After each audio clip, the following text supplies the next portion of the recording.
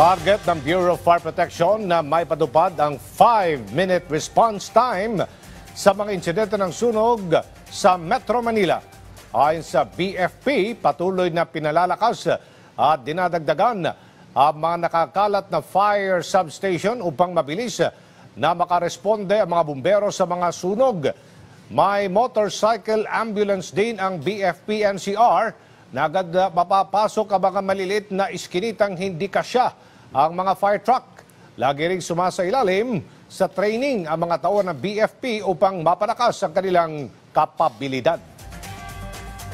Meron na po tayong mga LGUs po na na, na-coordinate po at nag ah, tumutulong po sa atin po na ma-meet po itong ating mga 5-minute response po na kailangan po natin dito sa Metro Manila. Pinag-iigihan po talaga na ma- madagdagan po ang ating mga fire substations po dito po sa Metro Manila po para ma- ma-achieve po natin po yung 5-minute response po natin.